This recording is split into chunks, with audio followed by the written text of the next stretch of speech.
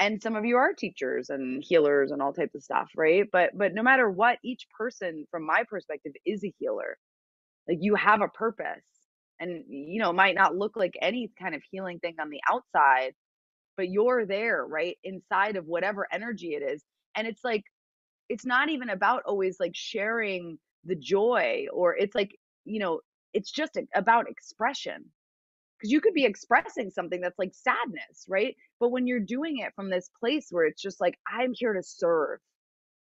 So then when you're sharing and expressing something you know regardless of what it is it's going to have that you know it's going to extend out like that. And the cool part is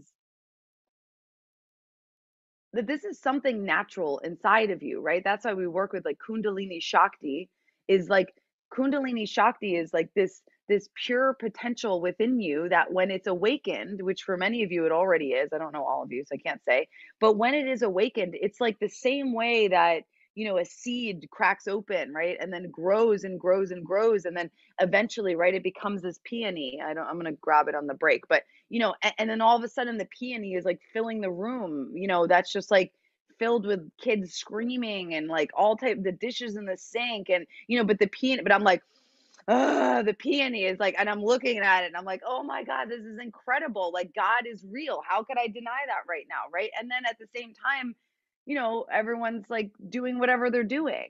But that same thing is true for you like you are that peony you are that rose right? You are that that expression that perfect beautiful expression of divinity. There's just no there's just no it's just it cannot be any other way.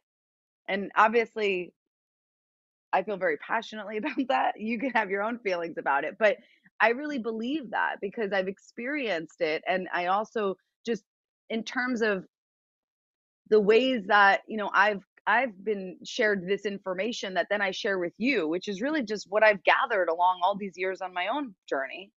It's like I've had enough teachers touch me in that place of truth to know that no matter how much I deny or reject it, that it's the only thing that really matters to me. And so it's going to come back no matter how lost I get.